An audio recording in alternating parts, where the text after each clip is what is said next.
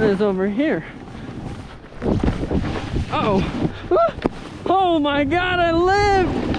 Hell yeah!